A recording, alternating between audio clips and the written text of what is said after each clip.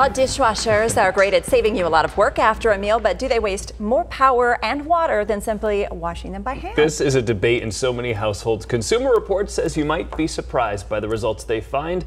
Here's 3 on your side's Gary Harper. Nearly 70% of households have a dishwasher, but one out of five of those rarely use them. Like many first generation Americans, I grew up in a household where the dishwasher was used mainly as storage. My grandma would keep her handbags in there along with anything else she didn't want people to find. But dishes, those were strictly washed by hand. Washing dishes by hand can use a lot of water compared to newer energy saving dishwashers. The dishwashers in Consumer Reports tests use about 4 to 6 gallons of water to clean a full load. If you hand wash dishes with the water running, you can use around 22 gallons. As an adult, I've come to appreciate the cleaning wonders of my dishwasher. But if you still prefer to wash by hand or you don't have a dishwasher, the two basin method is optimal.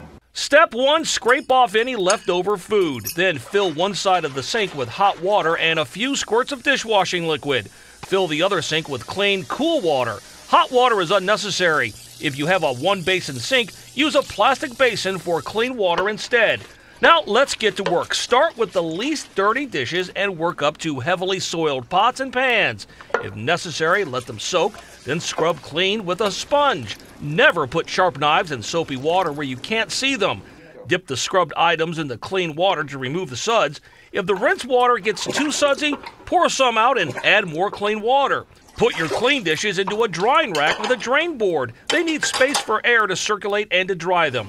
To avoid spots, dry glassware and metal items with a lint-free towel. Some other helpful hand washing tools, a bottle brush to get your drinking bottles really clean. These little brushes are great for reusable straws. Plain sponges are all you need for regular dishes, while a scrubber will take care of caked on food, and dishwasher soap can give you dishpan hands, so always wear a pair of rubber gloves.